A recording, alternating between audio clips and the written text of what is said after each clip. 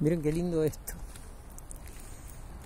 ya las maras dentro del mismo cementerio viven acá, me decía la gente que hay decenas.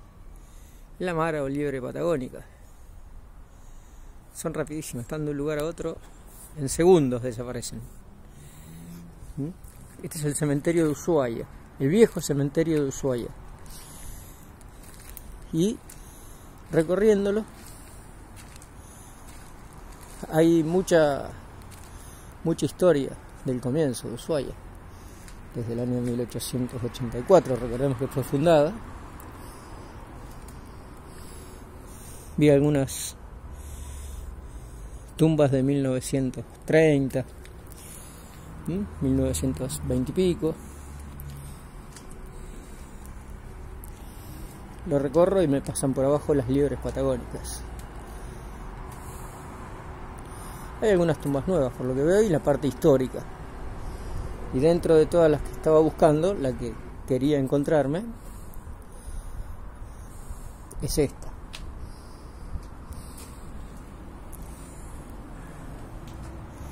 La tumba de Cayetano Santos Godino. Si miran bien, 1896 1944, 48 años vivió y hasta alguien en su memoria prendió alguna vela. Recordemos que él muere en la cárcel, en el presidio de Ushuaia, por haberle matado un gato a uno de los presos y tiene algunos crímenes horrendos en su memoria. Pero bueno, hoy ya es todo historia. ¿Mm? Lo lindo es llegar y poder encontrar el lugar donde él descansa ahora. A la memoria de él y de un montón de, de presos que están acá,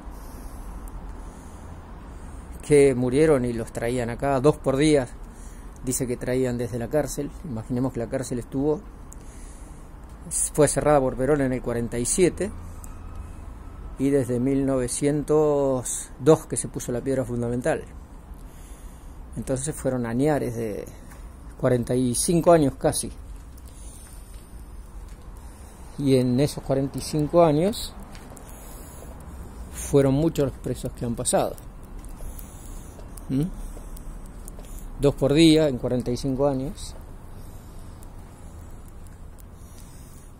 Era increíble. Esta es la parte de atrás de la tumba del Petit Orejudo. Es interesante la historia. Esta es de 1940. Me dijeron que hay unos panteones muy lindos dignos de ser visitados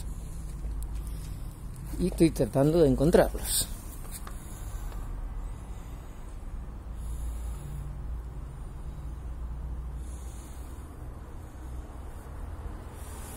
Vamos a ver.